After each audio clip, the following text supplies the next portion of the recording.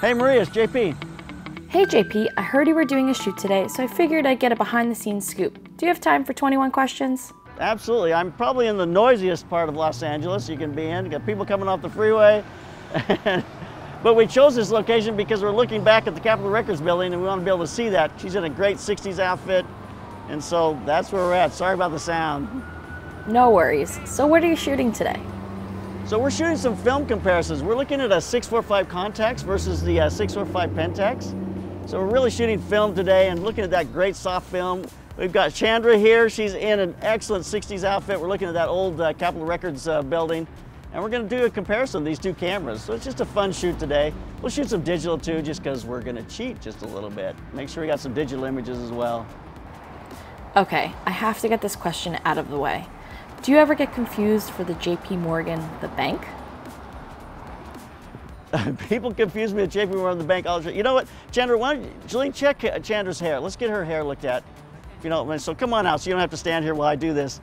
But do I get confused with the bank all the time? It's a funny thing. We used to get calls at the studio going, hey, do you have any, uh, any room in your financial department? I'm an accountant, and I'm going, we don't even know how to do accounting here. We don't know any of that stuff. So yeah, I get that, that uh, often, but just a funny thing. People don't forget my name usually, but it's J-A-Y-P period versus J-P period. It is, it is interesting. When I went to rent a car once, the lady said, oh, you're J.P. Morgan.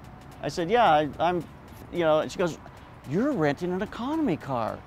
I said, well, yeah, you know, that's because it's cheap. She goes, that's pretty amazing for a man with your wealth.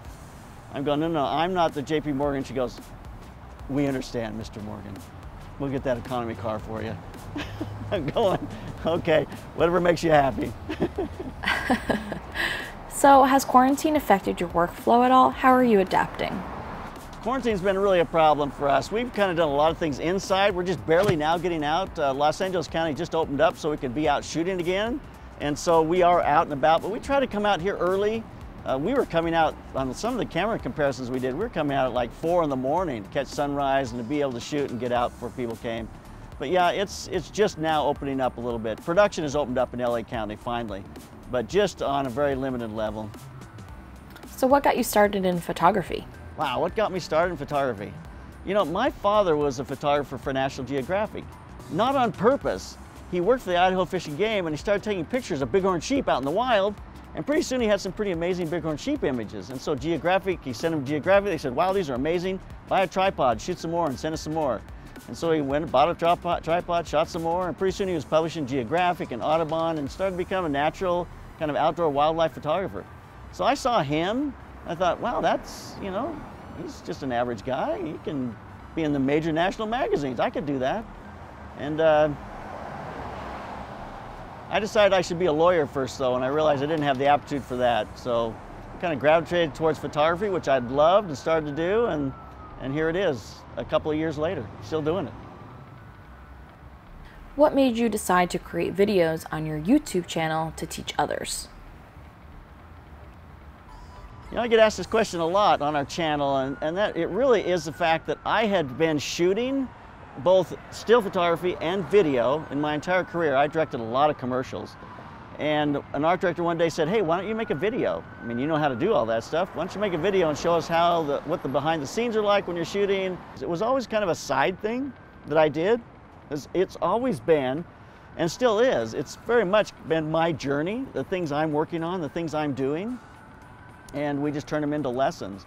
And so it's kind of a real look at the photo uh, video world from a point of view of that's kind of what we're doing. So. Can you tell us about your normal gear setup? So our normal uh, gear setup here is we shoot everything on our video channel on a C200. And we got a 2470, so it's like a 35, 105, somewhere in there, which is a great length of lens on that camera. And that's our setup. We use Sennheiser Lavs. When I shoot, I shoot on several different cameras. I have an A7 III, A7R3, uh, with that whole range of Tamron lenses for that uh, Sony mount. And I've also got the EOS R, which I really enjoy. I can't wait to get the EOS R5. Uh, so I shoot on both those cameras. I love them for different reasons. I use them all the time. That's kind of the, that's our go-to. I think the two lenses, if I had to choose one lens, uh, I would probably have a 70 to 200. I, I love the look of that lens. My second one would be a 2470. So what was your first video and what was it shot on? So our first video was done on a Mark uh, II. When the Mark II came out, I thought, you know what? I've been directing commercials with these huge Panasonic cameras, and I want to just be able to shoot some quick little video things. And that uh, 5D Mark II was fabulous. So I shot a little video about, we did a 50s kind of shoot at a gas station uh, using a softbox and lighting, and it was a lot of fun. That was one of our very first videos. The other day I thought, you know, I've shot almost 350 videos on my channel. Thinking, man, that's a lot of videos. So I, I opened up the channel just to look at it, and I was wrong. We've shot almost 650 videos on our channel. So we've been doing this for a while. Is there a specific video that helped you get noticed in the YouTube world? I don't know if there's a particular video that got us noticed in the YouTube world, although, you know, it's kind of, I did a couple early on. One I did, which was the five uh, portrait lighting positions, which has had over millions of views, and it really kind of became a foundation video. People use that at colleges, they use it to teach. It's been copied a million times. I think that was one of the beginning ones. It had very high production level. We had an overhead camera, we had a camera on the ground, we had the camera I was shooting on, so it's picture in picture. So of course at the end of it, my assistant picks up a, a uh, reflector and as he turns around, he knocks the model off her stool. She falls off the stool, stumbles onto the seamless and tears the seamless down and falls out of the frame. And that became a, a GIF, it, it, was all over the place. And that was probably a video that got us a lot of uh, recognition. When you first started the channel, did your family and friends understand this career decision? You know, when I first started the channel, it really was kind of a side hustle and just so it slowly kind of came on. Um, my wife used to say, you are wasting way too much time on that slanted lens thing, man. And uh, she was probably right, but in the end, it's paid off, so. That's great. Do you have a large team or do you do everything yourself? I know you shoot a lot with Kenneth. So we don't have a large team here. Kenneth and I do camera reviews together, but I've got Kenneth. Uh, Andy Cow has been DP, shooter. Kenneth shoots for me. Uh, it's a pretty small group. Julene styles most of the things that we shoot. I do work with Terry at Makeup Magic when we do the bigger production kinds of things. And those are a lot of fun, you know. So that's, our team is not large. Uh, if we have five or six on set, that's a pretty big setup for us. But we do some pretty large things with five or six people. But most of the stuff, like we're shooting today, it's just Kenneth and myself. Julene came along to help with wardrobe, but she'll be leaving here shortly. So it's a pretty small group. And what's your favorite part of your work? Favorite part of my work? That's so interesting. I, I love to shoot. There's no doubt about it. I love to shoot. I just, I, that whole experience is just fascinating to me. And, you know, quite frankly, I love to see the images on the camera and I love to see the final uh, outcome, but I almost love shooting more than I love seeing the images when I'm done. Uh, it's kind of crazy, but I do love seeing the images when I'm done. I love to shoot, if I could shoot only one thing, I would shoot vintage uh, images. Like I would stage images from different time periods. I love that kind of vintage time period thing. And I've shot a lot of that.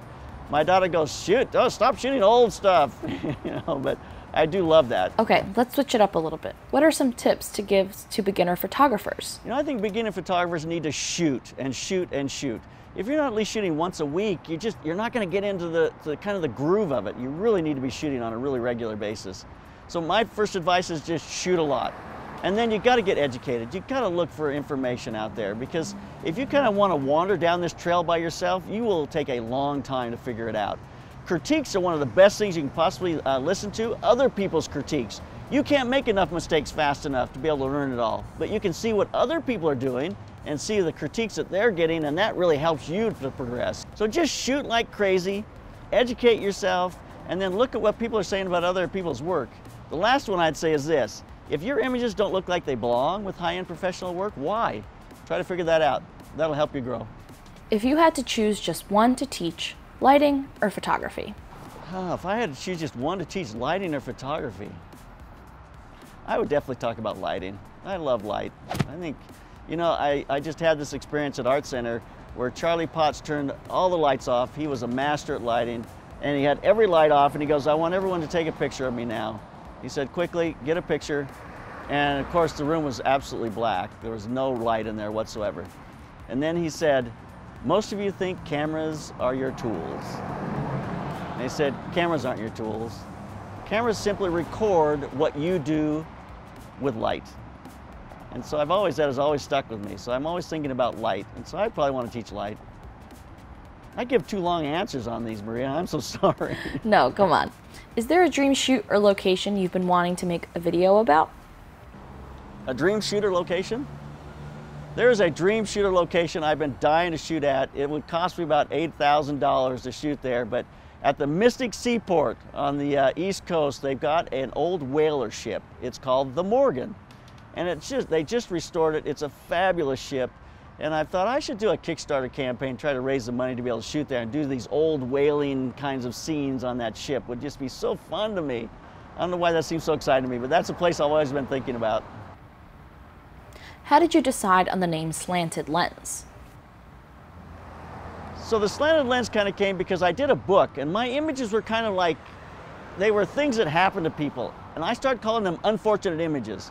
So I went to do a book and a calendar and the publisher goes, you can't do a book called Unfortunate Images. No one's gonna buy a book about unfortunate things. And I said, well, I, you know, so I couldn't think of what to do it. And I started thinking about, you know, what we did and we shot and I was brainstorming one day. I thought, well, how about the slanted lens? Like things are just kind of off. It's photography, but it's slanted. So it's the slanted lens. So that's kind of where it, where it came from. So that's kind of where it came from. And that was our, my first book. My book was called The Slanted Lens, and I did several calendars called The Slanted Lens as well. What has been the most challenging shoot you've had to do? Wow, the most challenging shoot that I've ever done. I've done some pretty crazy stuff that I thought I was going to just absolutely kill me. Uh, we were on the back lot of Warner Bros. once. We had a huge office we had a fire truck, we had fire, we had water, we had talent like crazy. I mean, it was just so many things. And you're trying to get that all to coordinate at one time. And it was, it was absolutely crazy trying to get that all to work together. Got someone on structure flying, you got a motorcycle coming through the window. I mean, it was out of control. And trying to get that set up. And I remember setting that thing, and finally we got the shot, and I was getting images. I'm shooting 4x5 as fast as I can. I shot like 150, 200 sheets of film. And I'm going, we have it. I know we have it. We have it. And it's such a great feeling. And then the fire department came and they said, where's your, where's your fire marshal? I'm going, we're, we're at Warner Brothers. Why would we need a fire marshal? So we have to have a fire permit. You can't shoot here without a fire, without a fire permit. I said, well, we don't have a fire permit. Well, we're gonna have to shut you down. And they said, the only reason we didn't shut you down, and this was a $150,000 shoot, the only reason we didn't shoot, shut you down is because you had a fire truck and you had people dressed in fire outfits, so we figured you had a fire permit. So uh, in the future, just have a fire truck and a fireman in an outfit, and you can get away with not having a fire permit. But that was a crazy shoot, there's no doubt about it. And which has been your favorite shoot? My favorite shoot that I've ever done is, there's no question about it. I rebuilt an Edward Hopper's, Ode to Edward Hopper's Nighthawk, Nighthawks. It was just done for me. Uh, it was a lot of money. I just wanted to shoot, uh, show an image that I loved and wanted to shoot. It's kind of what started my love of this kind of vintage imagery. And so it's just ode to Edward Hopper's. And it's interesting because when that was all done and the studio was empty, the crew had gone home, there was no one there but me, I turned the lights on in that little set, uh, set and I sat in there for a while and I just thought about this process, how hard it had been to do it, and uh, yet how much I loved the image that I got. And I guess I decided that day that th this was worth it to me uh, because it wasn't easy. It was never easy. Uh, I also had four kids and trying to balance work and life and all that kind of stuff. It was it was never easy, but it always felt worth it. And that kind of was that turning point. I felt like this is what I want to do. You know, at that point I was in over my head, but uh, it's not such a bad place to be if you can swim a little bit. Okay, if you weren't a photographer, what would you be? If I wasn't a photographer, I'd be a dentist because then I could have enough money to buy photography gear. I would be a terrible dentist. Don't come to me if I'm a dentist. What's the best piece of advice you've ever received? The best advice I've ever received, I think, came from my father about photography, and it came to him from National Geographic. And the guy at Geographic said to him when he started shooting, you can tell how good a photographer is by the size of their trash can. And uh, that meant to him that if you don't shoot a ton, you're not going to get good stuff. And so it's always kind of been, I feel you gotta shoot a lot. You gotta be shooting and working and, and progressing. So it's maybe a shotgun approach in some people's mind, but I think it's more about a commitment approach. You're trying to shoot a lot and, and really explore and do interesting things. And I think that's been one of the best advice I've ever gotten. That and, uh, you know, keep your feet dry. I don't know. Aside from a camera, what's your favorite piece of gear? Aside from the camera, what's my favorite piece of gear? Well, I could say lens, but that sounds like camera to me. Well, it would definitely be a strobe. I, I love strobes. I've got these FJ400s right now from Westcott. I absolutely love them. And I shoot on them all the time. I love strobe lighting because it gives me complete control. So if I have a camera and a strobe, I can light the world. It's a, it's a great combination. I don't understand people's uh, kind of resonance about strobes because I think it gives you incredible control. If there were to be a movie about your life, who would play you? If there was a movie about my life, who would play me? Well, obviously George Clooney because uh, he looks like me. I think that would be the one. I love George Clooney like in the Coen Brothers movies because he has this, he's such a good looking guy, and he, but he has this kind of slapstick over the top side as well, which I love, and a lot of my photography feels like that, so it would have to be George Clooney. And who should we interview next? So who should you interview next? Uh, you know, Barbara Bordnick. She was an incredible photographer that inspired me back in the 80s. Uh, she did incredible work for magazines and just a fabulous photographer. She lives in New York City. I would love to hear an interview from her. Barbara Bordnick, fabulous photographer. So thanks for calling, Maria. I'm going to get back to it, and uh, hopefully this was helpful. Hopefully it wasn't too long. No, this was great. All right. Chandra, let's get back in. Let's get a shot. Thanks so much for answering all my questions. See ya.